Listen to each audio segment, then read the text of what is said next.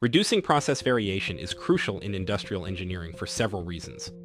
Firstly, it enhances product quality. High process variation can lead to inconsistencies in the final product, which can result in defects or failures. By reducing variation, you ensure that each product meets the desired specifications and quality standards consistently. This not only improves customer satisfaction but also reduces the costs associated with rework, returns, and warranty claims. Secondly, it improves process efficiency. When there's high variation, it's harder to predict process performance, making planning and scheduling more challenging.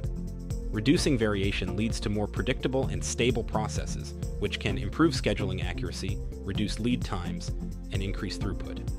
Thirdly, it reduces waste. In a high variation environment, there's often a need for extra resources to compensate for the unpredictability. This could mean additional inventory to buffer against variation, extra inspection activities to catch defects, or additional capacity to handle rework. By reducing variation, you can eliminate these wastes and make your operations leaner and more cost-effective.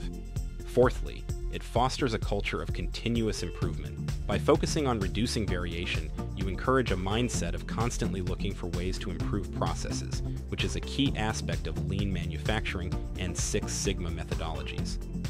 Finally, it enhances decision making.